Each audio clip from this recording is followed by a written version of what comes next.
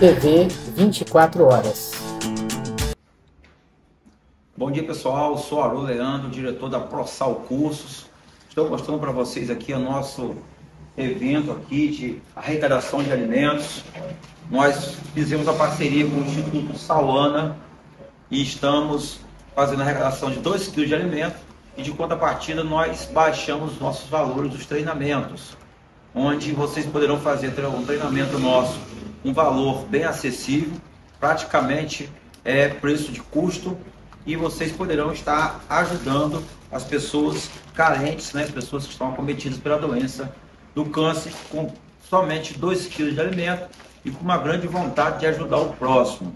Nós vamos fazer essa semana a primeira entrega, a previsão é que a gente faça aí a, a entrega de mais ou menos 500 quilos essa semana e mais 500 quilos para a próxima semana, ou seja, em torno de uma tonelada de alimentos. Aproveito para agradecer a todos esse dia de hoje, né, o dia do cliente, e vocês são nossos clientes especiais, que estão aqui nos ajudando, nos auxiliando nessa grande campanha, ajudando o Instituto Saana, que é um instituto que é, ajuda as crianças que estão com essa doença tão cruel que é o câncer. Mais uma vez agradeço o Juarez e a Helena por estarem participando conosco aí nessa campanha e todos os nossos clientes que estão aderindo aí. For, está sendo um sucesso e vai continuar sendo sucesso. Vamos fazer a nossa primeira entrega na terça-feira, previsão de 500 quilos e na próxima mais 500 quilos, ou seja, uma tonelada aí em duas semanas. Meu mais muito obrigado e venham, venham para ProSal Cursos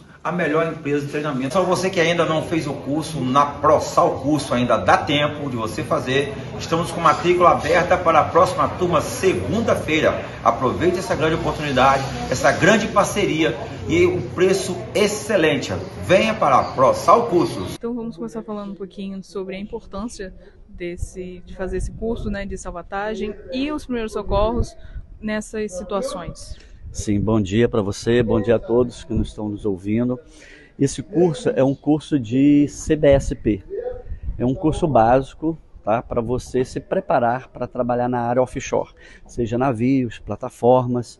E esse curso nos proporciona é, assuntos para a sua, a sua estadia nas plataformas, seu bem-estar na plataforma, sua segurança, ao qual abordamos combate a incêndio, né, como você vai é, dar o primeiro combate caso aconteça algum princípio de incêndio. Nós temos também as técnicas de sobrevivência no mar. Se você se tornar um náufrago, como é que você vai se direcionar? Como é que você vai seguir todas as técnicas para você, com segurança, sair da plataforma e ficar em alto mar, né? seja na baleeira, num bote salva-vidas, até que o resgate avançado chegue, certo? E também tem toda a parte de primeiros socorros também, que é uma coisa que acontece muito, até pequenos acidentes, médios e grandes, dentro de uma plataforma, ao qual o aluno ele vai estar preparado para dar os primeiros socorros, o primeiro atendimento, né? que já é cientificamente comprovado que se você der um primeiro socorros de excelência a uma possível vítima, 70% ela tem de não piorar a sua situação e de ter a sua sobrevivência mediante ali ao trauma que ela ocorreu. E aí a gente aborda isso tudo, é muito importante para todas as pessoas que irão trabalhar na área offshore, né, ter esse curso para que possa fazer um excelente serviço e estar na, nas unidades, né, é, num bem-estar, tá bom? E nesse curso de primeiros socorros, o que, que é ensinado para eles? Como que eles aprendem isso? Ah, sim. A gente ensina a ele primeiro socorro básico do básico, ou seja, é, caso venha acontecer algum acidente, é, ele já vai estar apto para poder dar o primeiro atendimento que seria chamar uma ajuda de um socorro avançado, né? É, fazer a segurança da cena e assim então abordar a vítima tentando buscar os sinais vitais dessa vítima e mantê-los até que um socorro avançado chegue. Sou militar do do Estado do Rio de Janeiro, onde exerço a função por 22 anos. Dentro desses 22 anos eu tenho alguns cursos de especializações, como o curso de salvamento no mar, correto? O pessoal chama de guarda-vida. Curso de operador de embarcação de resgate, que é o guarda-vida que trabalha com a moto aquática, vulgarmente chamado de jet ski, correto? Tenho curso de operações de salvamento de desastre, curso avançado de salvamento de espaço confinado, e o curso de especialização em combate a incêndio urbano, que é o que nós vamos estar vendo um pouco aqui hoje, correto? Vou estar falando, explanando para vocês um pouquinho de combate a incêndio. Fora da vida militar, eu sou técnico de segurança do trabalho, sou técnico em eletromecânico, sou técnico segura... sou técnico de enfermagem, sou bacharel em educação física, correto? E vamos estar aí hoje trabalhando um pouco disso de combate. Uma fuga, correto? Uma roda de fuga, onde o compartimento já foi todo inundado de fumaça, certo? Nós vamos jogar aqui, vai ser a fumaça de glicerina, não faz mal à saúde, não é tóxico, não é prejudicial, tá certo? Onde os senhores só vão, vai diminuir um pouco a visibilidade dos senhores os senhores terão que atravessar. Alguns vão entrar por essa elipse, sair pelaquela, outros vão entrar pelaquela, sair por ela, onde no meio do caminho eles irão se encontrar e deverão desviar né, dos grupos aí para poder chegar ao outro lado, alcançar o objetivo, correto? Lembrando que numa situação real, num compartimento onde a gente consiga ficar em pé, nós vamos ó, sempre manter contato com a parede, de preferência com o dorso da mão, correto? Para que esse contato aqui? Além de direcionar a gente, serve para que se eu estou indo, daqui a pouco eu estou reparando que a estrutura está esquentando. Se está esquentando para lá, vai me dizer o quê? Que para lá tem o quê? Então eu não vou seguir para lá, correto? Então eu vou ter esse contato com a estrutura para me orientar e para eu ter esse contato. E lembrando sempre, assim, o pé eu vou fazendo varreduras. Ó, eu vou chegar, opa, já sei que tem aqui alguma estrutura que eu posso me machucar. Ou até mesmo no chão, ó. Eu sei que tem. No compartimento eu não consegui ficar em pé, tem que ficar de quatro apoios. Eu, aqui eu estou aqui e vou ó, com a mão fazendo a varredura para que eu possa me orientar e não venha a me machucar, me lesionar. Correto? Alguma dúvida? 2, 4, 6, 8, 10, 11. Vamos fazer um grupo de 6 lá e um grupo de 5 aqui. Estamos fazendo um trabalho simulando um ambiente onde o pessoal tem pouca visibilidade, pouco mobilidade dentro do ambiente, onde eles vão ter que atravessar a estrutura, sair do outro lado, lá dentro a diminuição de fumaça é feita com de visibilidade é feita com fumaça e glicerina, né, para dar uma dificuldade a eles no ambiente.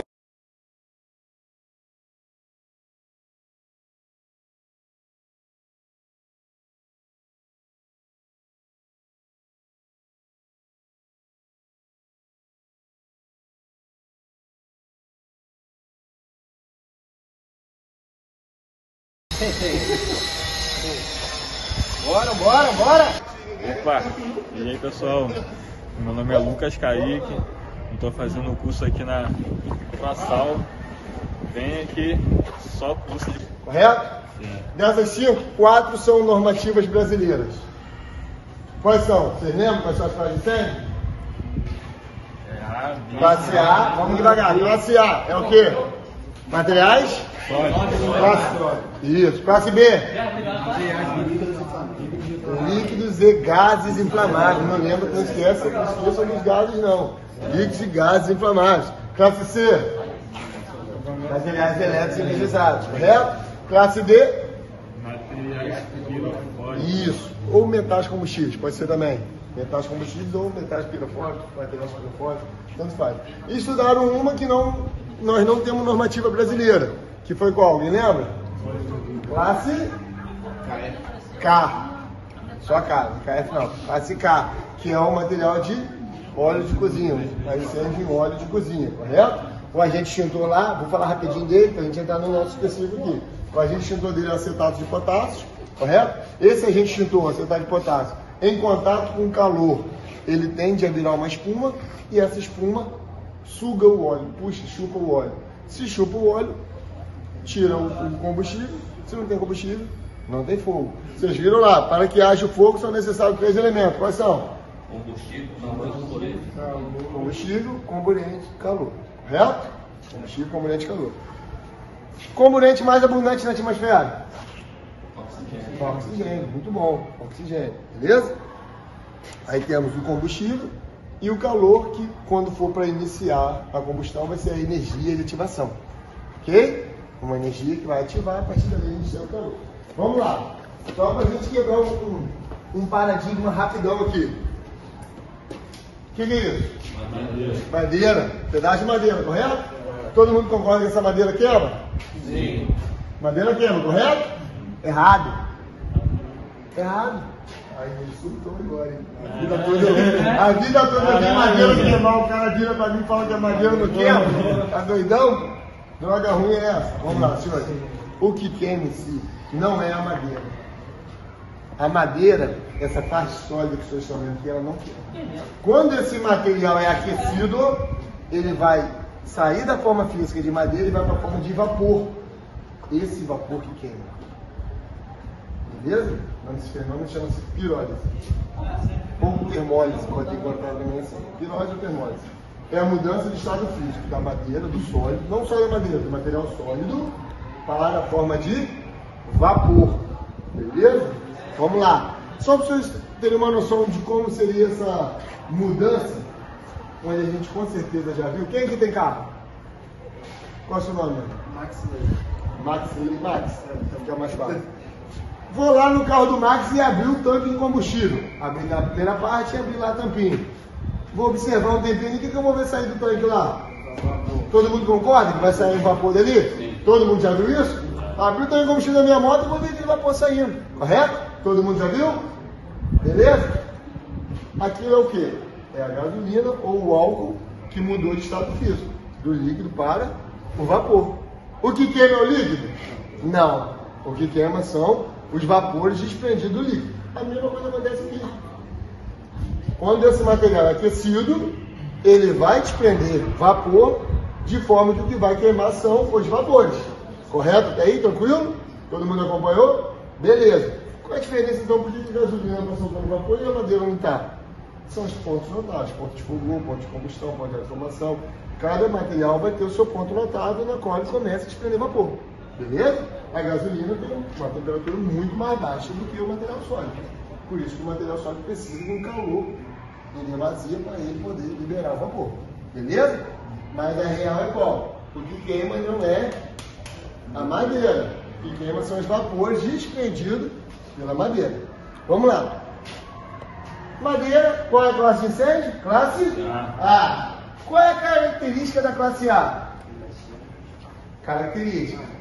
Aqui nós temos a prática do combate a incêndio, a parte básica do combate a incêndio, onde eles estão atuando com aparelhos extintores e após essa parte com aparelho a gente vai partir para a parte com mangueiras pressurizadas e esguichos reguláveis onde eles vão ter uma noção de como é a pressão de água, como avançar, como recuar e o que fazer num caso de princípio de incêndio.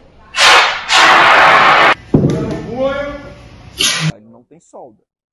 Tranquilo? Então nós temos aqui o extintor de CO2, o extintor de água e de pó químico. O extintor de água e pó químico eles são praticamente idênticos. Né? Como é que a gente diferencia ele? Através do som. Um som de sino, extintor de água um som mais abafado, extintor de pó químico. Então nós temos o extintor de CO2 para qual classe? C, classe C. Nós temos o extintor de água para qual classe? A. Nós temos extintor de químico para qual classe? C. Beleza? Então vamos lá. Então nós temos agora para você um incêndio em um eletrônico e para você em um líquido inflamável. Vamos lá, vamos agir testa o seu equipamento.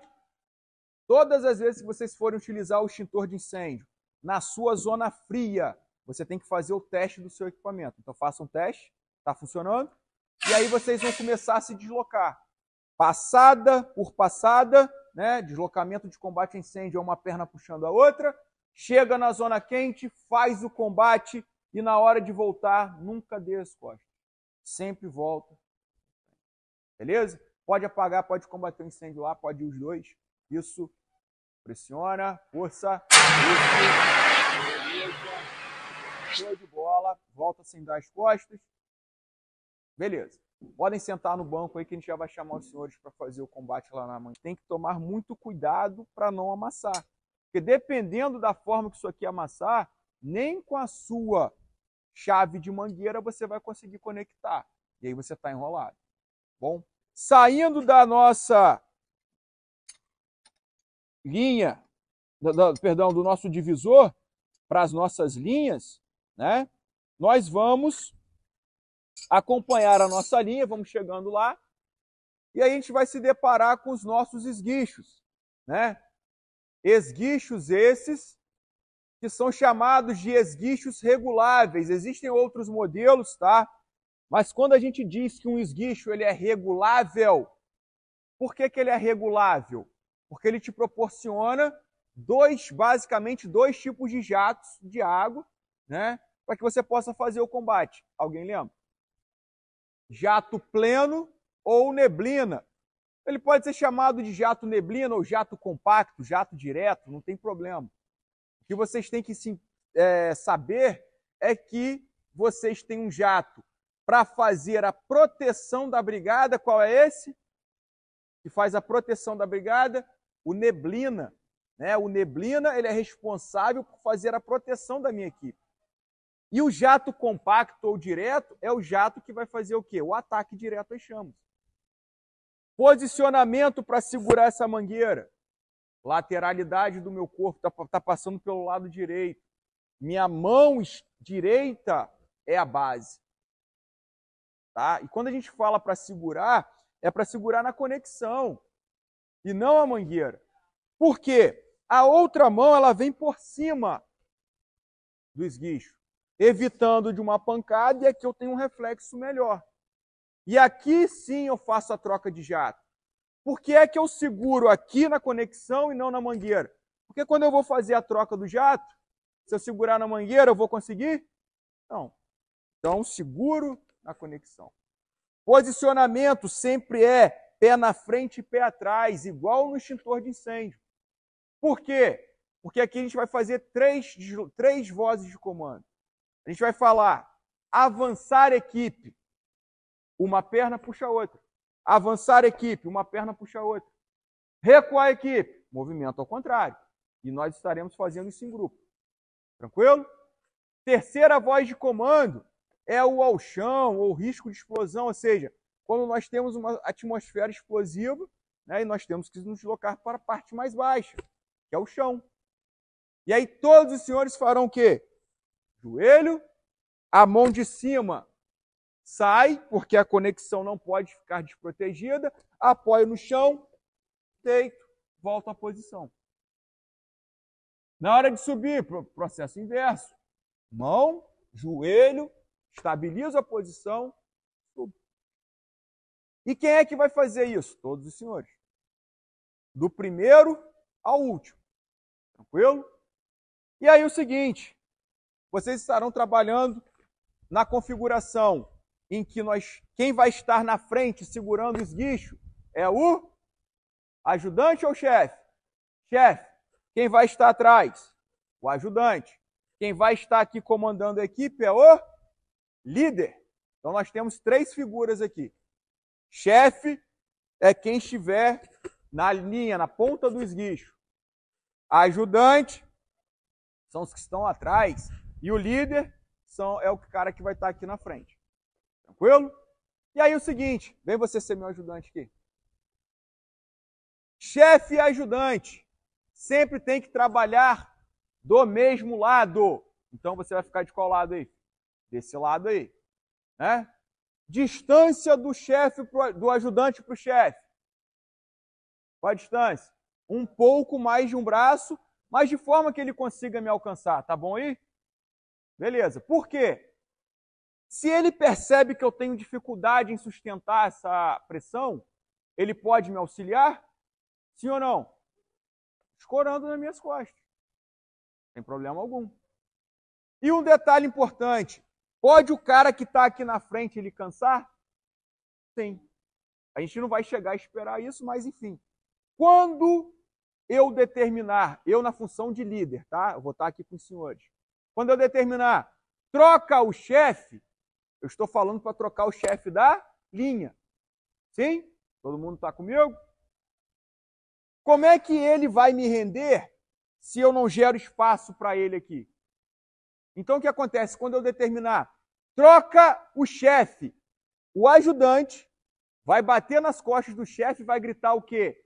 Pronto! Ele vai gritar pronto para que eu saiba que ele está pronto a assumir o meu lugar.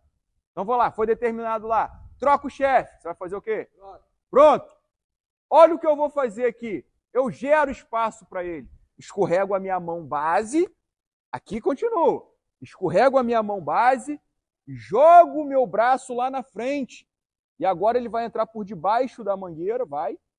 Abraça a mangueira com a sua mão direita e a sua mão esquerda por cima da minha. Base. E agora eu saio. Ele assumiu, eu saio. E agora, se só tivermos nós dois, eu sou o ajudante. Como nós vamos estar em um grupo, eu agora serei o último da linha. Tranquilo? Vamos lá, vou fazer de novo. Foi determinado a troca do chefe. Troca o chefe. Pronto! Escorrega a mão, joga o braço lá na frente, estica o braço para frente. Já entro abraçando aqui, ó, posiciono, mão por cima, encaixo, troquei. Tranquilo? E assim por diante. Como nós vamos estar em um grupo, ele agora seria o último. Qual é a função do último? Não deixar que a linha faça quinas aí atrás, porque senão vai atrapalhar a pressão aqui na frente. Tranquilo? É somente isso que a gente vai estar fazendo aqui, tá? De uma forma bem tranquila, bem light, tá? Peço que os senhores não vai dar para a gente fazer com todo mundo, então a gente vai estar dividindo em dois grupos, tá?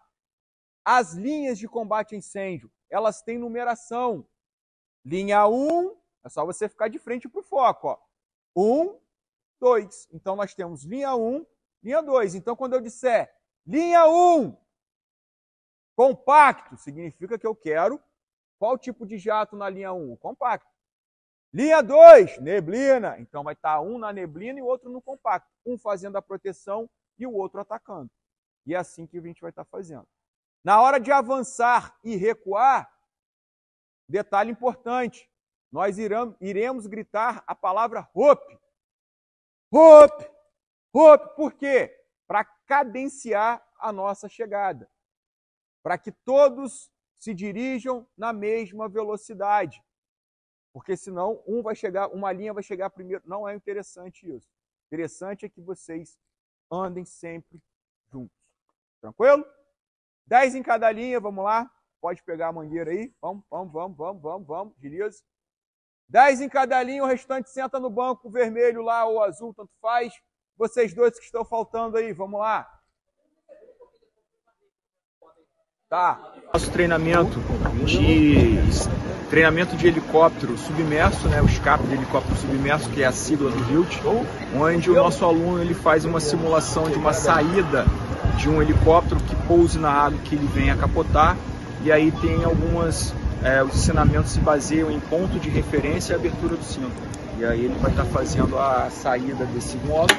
Aí numa situação real eles estariam com o colete semiautomático, mas na situação de treinamento a gente utiliza os nossos mergulhadores aí para caso o aluno tenha alguma dificuldade, caso o aluno não saiba nadar, porque não é um pré-requisito saber nadar, ele possa estar trazendo esse aluno até a superfície. Nós fazendo a simulação de um helicóptero através do nosso módulo, esse helicóptero pousa na água e começa a capotar. Né? Quando ele começa a capotar, os senhores têm que fazer a simulação da saída, tendo como referência né, a sua saída de emergência, que é onde os senhores estarão segurando, né, para ter a noção de direção mas antes se vocês se puxarem para fora, vocês têm que fazer a abertura do. Então, ponto de referência é o local que você escolhe para ser a sua saída diante de uma situação real. Então, esse é o seu direcionamento. Sempre vapor no caso aí. Esperar o módulo se alagar completo e aí você começar a pensar em abertura de cinto e fazer a sua formação. Beleza? Então, mão na referência, mão na fivela. Vamos lá, bota aqui, ó. Então, dentro, para você não soltar. Isso, planta do pé no chão. Tranquilo? Vamos lá, prepara, respira.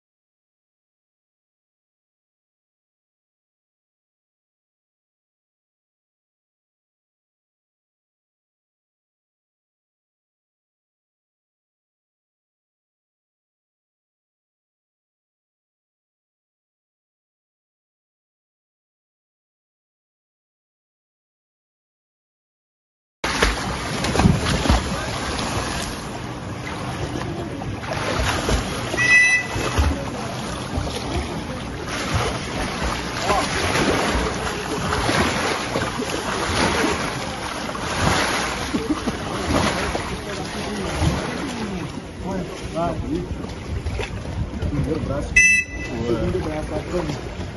Valeu.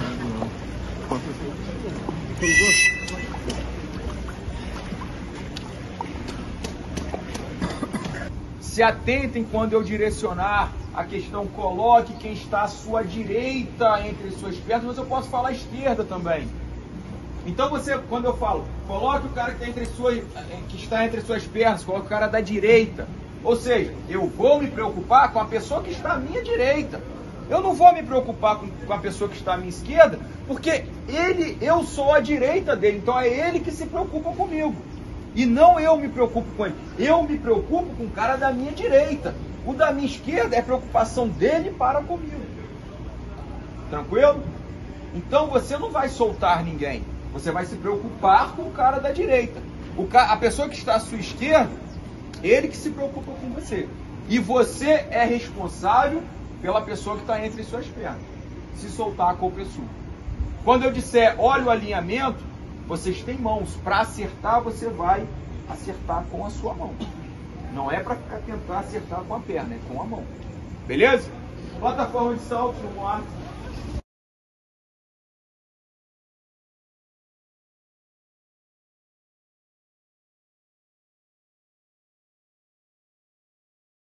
Vocês estão mais próximos da lâmina d'água. Quando eu olho para o céu, olha lá como é que facilita o andamento. Então, você que não sabe nadar, principalmente que está com dificuldade, o segredo é manter a sua cabeça olhando para o céu. Segura aí para mim para você Eu sabia que alguém ia soltar. Pouco Tranquilo? Então, a intenção é essa, quando a gente fala. E quando você olha para o céu, o seu quadril que está aqui embaixo, olha esse alinhamento aí. Puxa aí, para cima de você, fora. Isso. Os dois braços juntos. Alinha ele, meu irmão. Uma vez só, uma vez só. Vamos. Rema. Os dois braços juntos. Olha o alinhamento. Isso aí, ó. Ali. Ali. Tá em linha reta agora. Solta a bola. Já estamos com os dois braços juntos há muito tempo.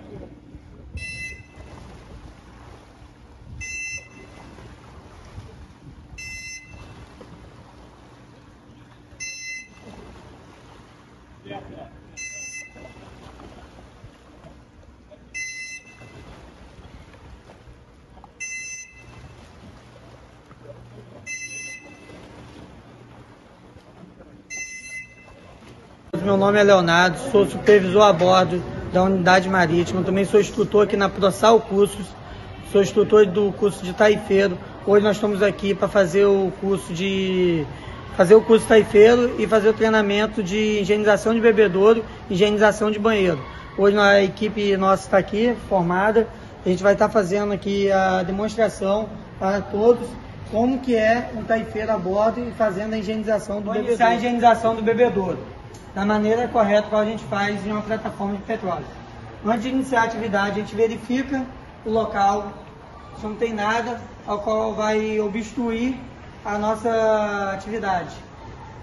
Verificado o local, está liberado para poder iniciar a atividade, eu verifico o meu material de trabalho, meus EPIs, está tudo correto. A luva, lembrando a todos que a luva para higienização de bebedouro é amarela. Após verificar a luva, vou estar colocando o meu EPI. Nós temos que utilizar a cinta devido ao manuseio do galão. Com o manuseio do galão pode afetar a coluna, nós temos essa cinta que é fornecida pela empresa para garantir a nossa segurança e da coluna também para não vir causar um acidente. Coloquei a cinta. Lembrando a todos que o EPI, o EPI ele é fundamental para um procedimento correto, para que não haja acidente. Colocamos os óculos.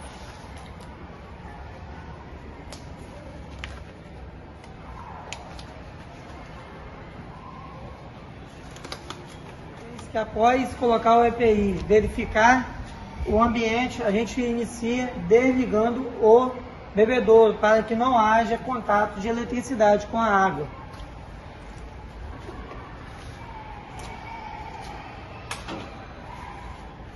Após desligar o bebedouro, retiro o galão de água.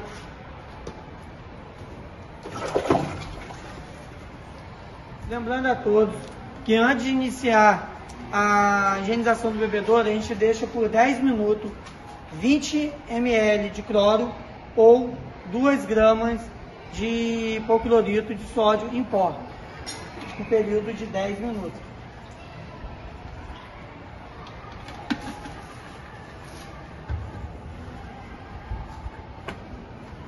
Após ter colocado o cloro, vou deixar por 10 minutos.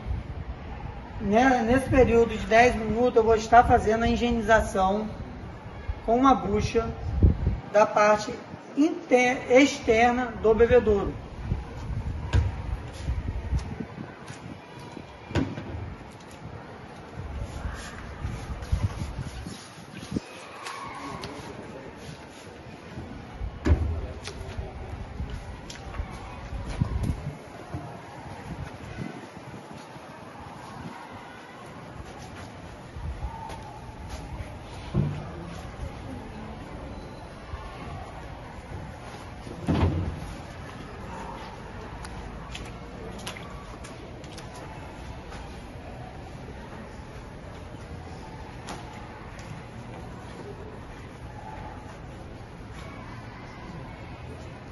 Após ter feito a limpeza do lado externo do bebedouro e o período de 10 minutos se passou da área interna do bebedouro, eu vou iniciar a parte interna, que é para remover a sujeira ou algo que fica agarrado entre as torneiras e a mangueirinha do bebedouro.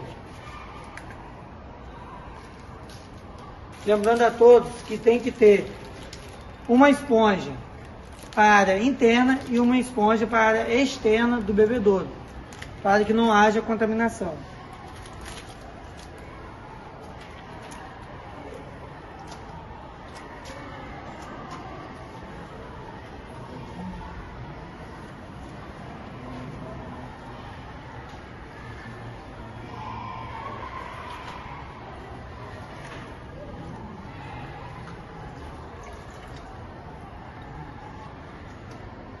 Após ter feito a limpeza com a esponja, ponho a mesma, guardo em um saco com identificação para que não venha se contaminar com a outra.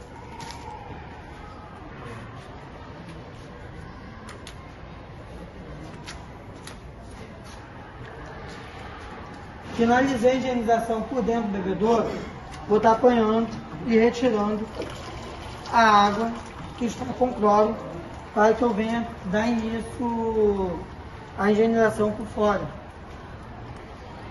E nas torneirinhas também.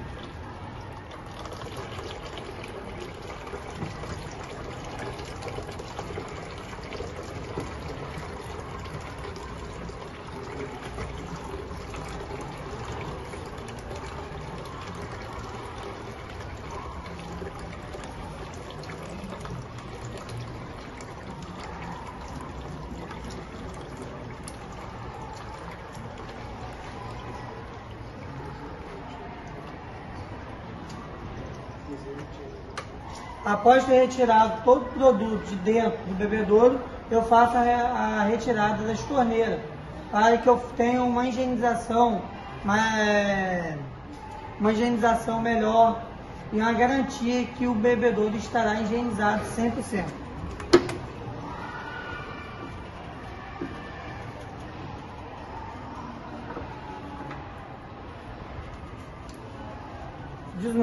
A torneirinha por por completo.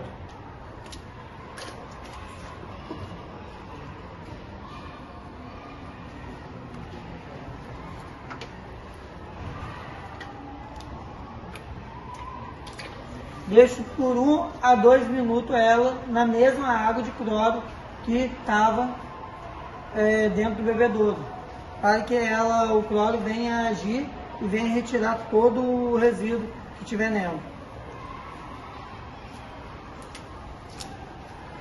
Nesse período que foi colocado, que foi enquanto está a torneirinha ali, a gente vai fazer a limpeza do bebedouro com um pano limpo a gente vai limpar ele, a área externa do bebedouro.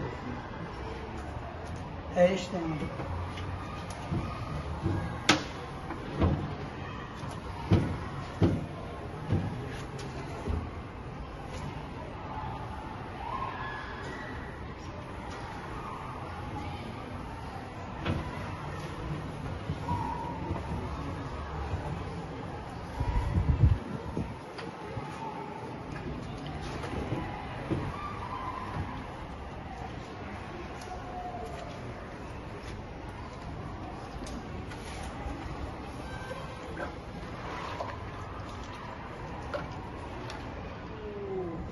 cloro. Porque a dosagem ela é tão pequena, ela é mesmo só mesmo para matar bactéria, coisa pequena.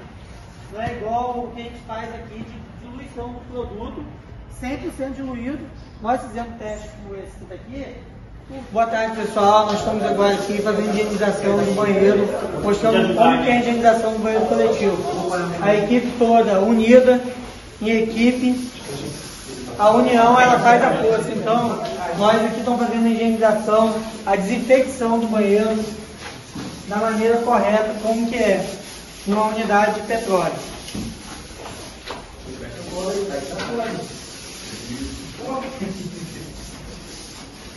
Lembrando a todos que o uso do EPI ele é fundamental para que você faça uma higienização com segurança. Então, a Proxal Custo indica e recomenda o uso do EPI para qualquer tipo de atividade no ramo offshore.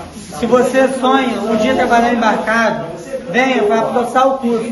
Aqui nós qualificamos com qualidade para que você venha fazer um excelente trabalho a bordo. Venha você para adoçar o curso. Nós estamos aqui com mais uma segunda equipe no banheiro feminino, fazendo a higienização do banheiro feminino banheiro coletivo, banheiro individual de camarote. Aqui eles estão aprendendo aqui, fazer na prática como que é uma higienização, dando mais qualidade, mais experiência para que eles cheguem a bordo e façam um excelente trabalho. Venha você também para processar o curso, onde a gente qualifica com qualidade. Eu, como supervisor, dizer, eu como supervisor, a primeira parte que eu dentro de banheiro que eu olho é a parte do vidro, é essa parte aqui do teto, pia e dentro do box. Porque a qualidade ela vem de dentro para fora. Então ali dentro do box ali é onde estiver a qualidade do trabalho, há uma higienização de perfeição, a gente começa do box para fora. E assim a gente vai dando continuidade na qualidade.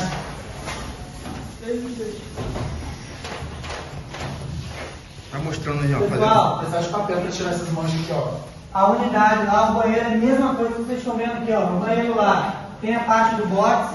Você lembra que eu falei do box do box? Toda a parte do box aqui, ó,